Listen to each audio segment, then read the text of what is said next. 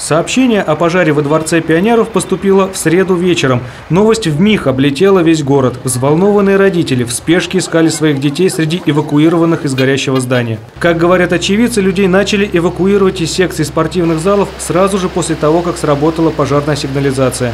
К этому моменту на место прибыл первый пожарный расчет.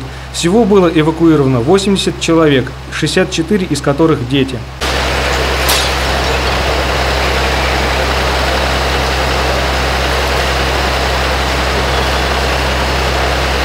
На пульт МЧС новость о пожаре поступила в 17.35. Возгорание произошло на втором этаже в гимнастическом зале. Снаружи было видно только сильное задымление. Пожару сразу присвоили повышенный номер сложности. На место происшествия для тушения выехали 7 автоцистерн и 2 автолестницы. В 17 часов 48 минут возгорание уже было ликвидировано.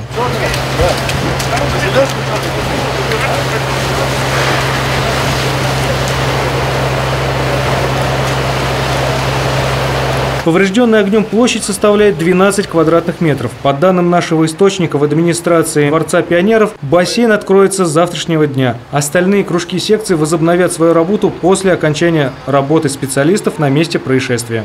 Иван Крестьянинов, Денис Беляев, телекомпания «Город».